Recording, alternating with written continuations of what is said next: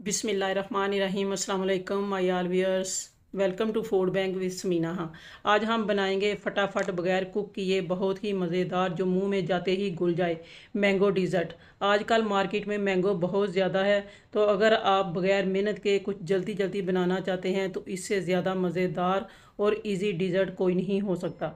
Video को skip नहीं करना, आखिर तक ज़रूर देखें और नए व्यूअर्स सब्सक्राइब करके बेल आइकन प्रेस कर दें। तो शुरू करते हैं। सबसे पहले मैंने चार आम लेकर छिलका उतार बरी काट लिया है। जो मैंगो के पीस थोड़े सख्त थे उनको अलग कर लिया है और जो नरम है, उनकी पेस्ट बना लेंगे और सख्त मैंगो गार्निश के लिए रख देंगे। आधा घंटा पहले इनको फ्रीज़र में रख दिया था और ठंडा कर लिया है। और ये चार बिस्कुट के नॉर्मल साइज़ के पैकेट लिए हैं। आप कोई भी बिस्कुट ले सकते हैं। दो क्रीम के पैकेट लेकर इनको भी एक घंटा पहले फ्रीज़र में रख के ठंडा कर लिया है। अब क्रीम के दोनों पैकेट एक ब्लेंडर जार में डाल देते हैं। चम्मच से अच्छी तरह से क्रीम पैकेट में से निकाल लेंगे। अब जार का ढक्कन बंद करके इसे अच्छी तरह से ग्रीन करें। एक मिनट के लिए ग्रीन करेंगे। और फिर जार ओपन करके टू टेबल स्पून पिसी हुई चीनी डाल दें। चीनी को पहले मैंने पीस कर पाउडर बना लिया था।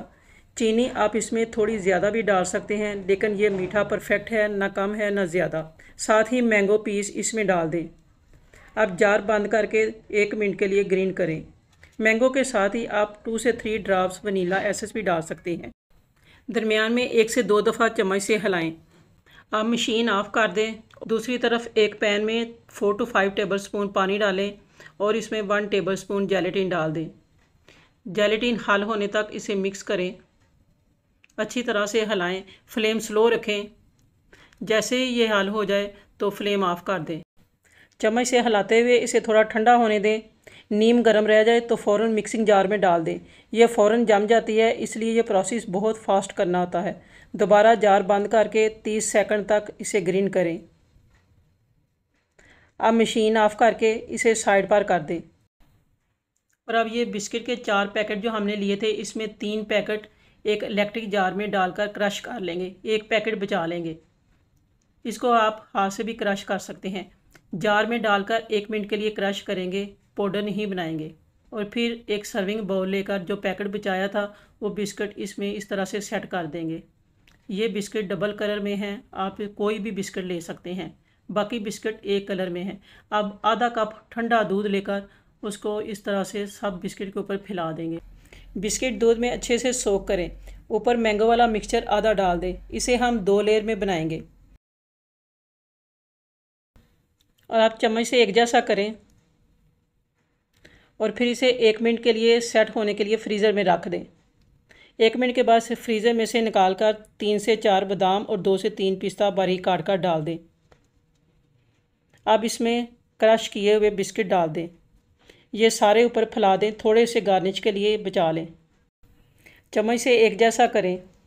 कार्नर से और साइडों से सारा एक जैसा करेंगे। और ऊपर बाकी का मैंगो मिक्सचर सारा फैला दें।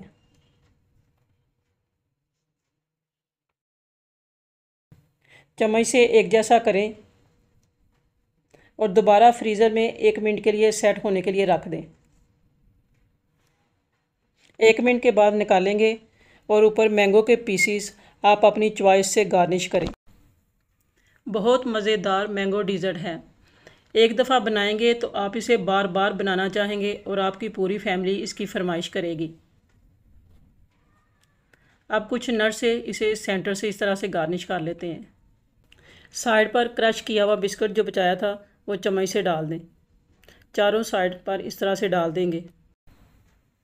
इतना मज़ेदार मीठा बनने पर लाइक तो ज़रूर होना चाहिए। वीडियो अगर पसंद आए तो सब्सक्राइब और लाइक ज़रूर कर दीजिए।